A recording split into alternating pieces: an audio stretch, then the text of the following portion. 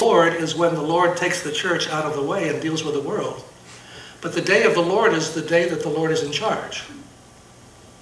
Could the day of the Lord be operating in my life today? Yep.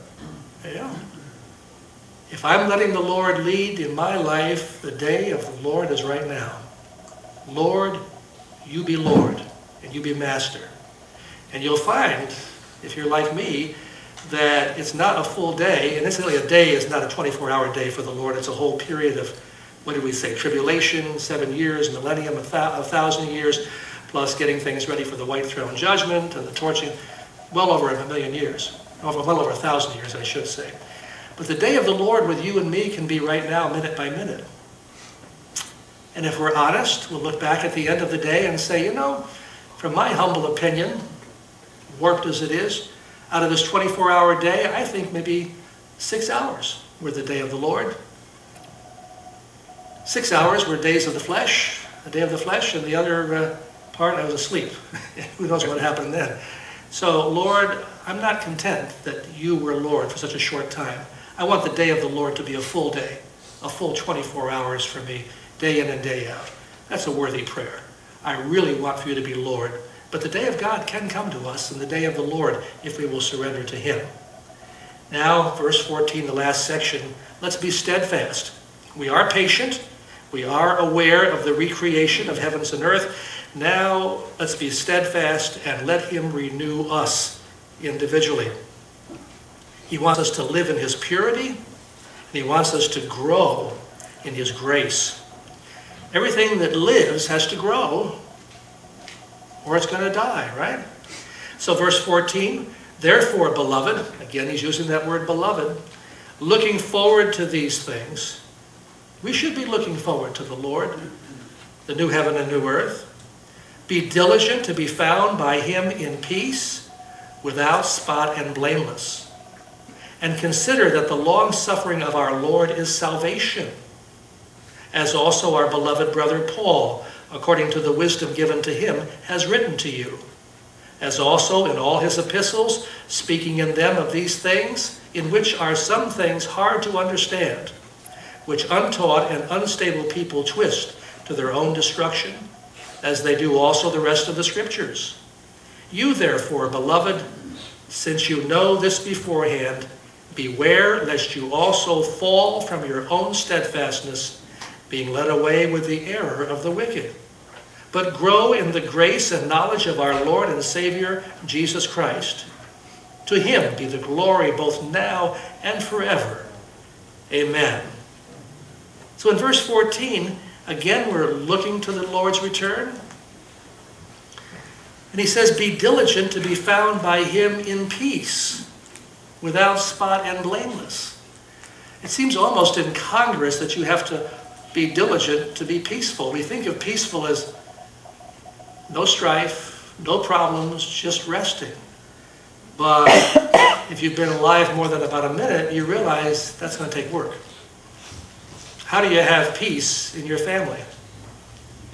Just kind of happens, right? Choose the right spouse and have the right kids, and they just happen to all be peaceful, right? Hmm. You can always tell a bachelor when he's describing a family, can't you? That? Mm-hmm. No, no, it's going to take work. It's going to take work, and sometimes you're not successful. Sometimes, no matter how hard you try, you cannot reconcile with somebody. And that's why Paul says, as much as lies within you, be at peace with all men. Sometimes you just can't help it, but you do what you can. In any event, be diligent, really work to find yourself by him in peace. When he finds you, may he find you in peace. When he comes to get you in the rapture, may he find you? Yes. How about right now? May he find you at this moment in peace. Lord, find me every moment in peace. And the word peace, incidentally, in the Hebrew, we all know the word shalom. The Greek word is eirene, and it means a lot more than just the absence of strife. It really means wellness, wholeness, means prosperity, blessing in every sense of the word. That's why when Jesus would say, and even in the Israel today, they'll open a conversation and close it with the word shalom. It's very much akin to the word salvation. Complete and full in every area of life. Peace, not only in relationships, but peace in your finances. When you've got too much month and not enough money, there's no peace. Physical illness doesn't cause peace. And so he says, I want you to be found in peace, and here's how you do it without spot and blameless. First of all, you are without spot and blameless when you come to Christ.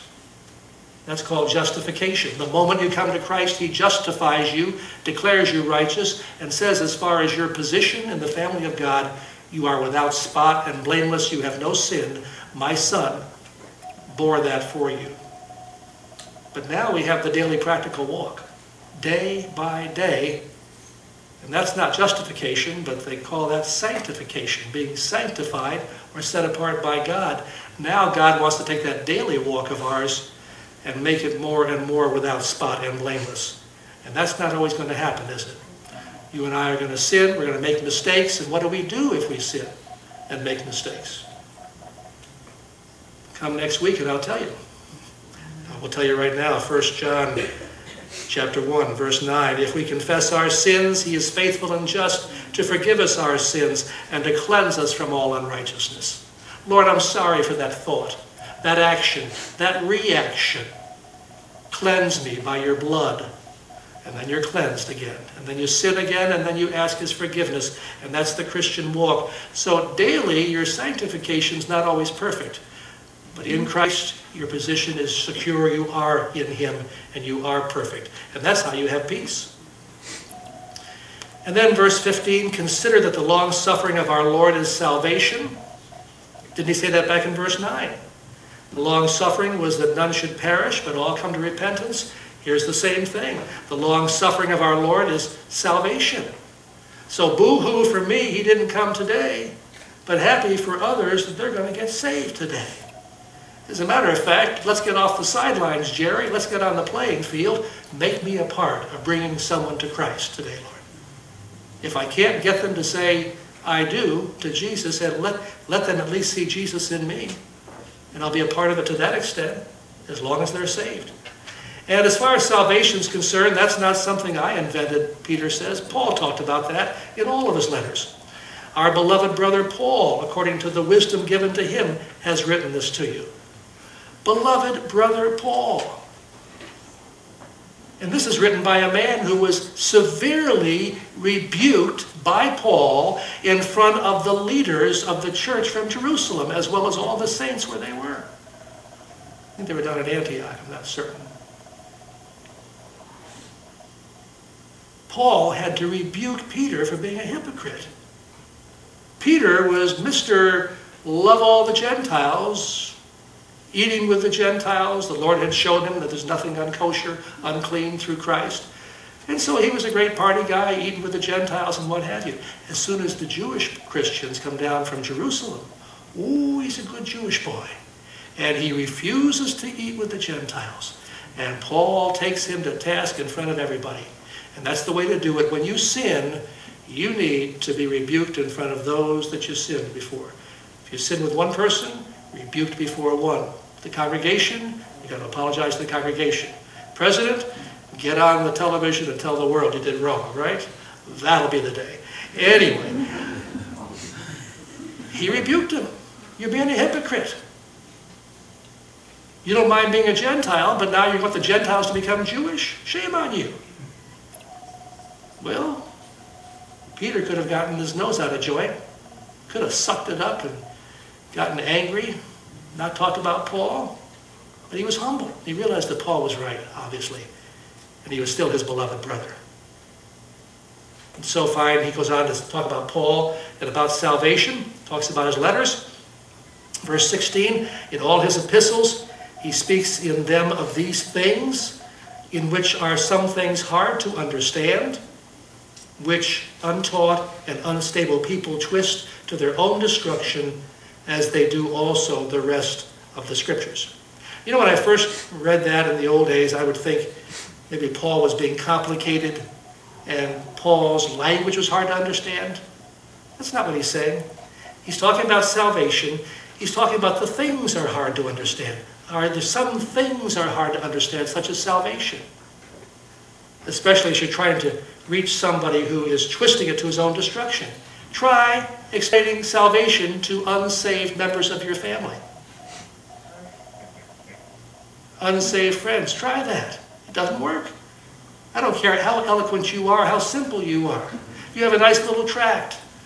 That little tract that they used to have uh, with the Campus Crusade, whatever, the two little cliffs you have, and then you've got that little gap between and the cross. It couldn't be any simpler. I used to use that. Duh. They have no understanding what you're talking about. It takes the Holy Spirit to open their minds. So when you're going out to tell others about it, pray for the Holy Spirit not only to be on your lips, but to be in their minds, to open their minds. These are hard to understand, especially for those who are trying to twist it, as they do the rest of all of Scripture. You, therefore, beloved, since you know this beforehand, beware lest you fall from your own steadfastness being led away with the error of the wicked. The wicked are going to try to lead you astray. Be aware, be warned, and avoid them. And instead, I want you to grow. Grow in the grace and knowledge of our Lord and Savior, Jesus Christ. Every day should be a growing experience. Lord, I look forward to growing today. We should be growing spiritually every day. And the younger ones are growing physically, and the older ones are growing physically, maybe in the wrong direction, but we're growing. But we're all growing spiritually in the grace and the knowledge of our Lord and Savior, Jesus Christ. Grace is God's undeserved, unmerited favor. And the knowledge of Him is the personal, experiential knowledge. Oh, you can read the Bible all day long. Read the Gospels. You'll know about him in your head and academically, but you got to know him personally. Lord, I want to know you personally. And you'll know him even in adversity, and especially in adversity. You'll call upon him and he'll be there for you. But you grow in the grace and knowledge of our Lord and our Savior. He needs to be both. Not just the one who saved your soul, but the one who is truly Lord of your day, this day, the Master. To him be the glory both now and forever. Amen. Not to myself.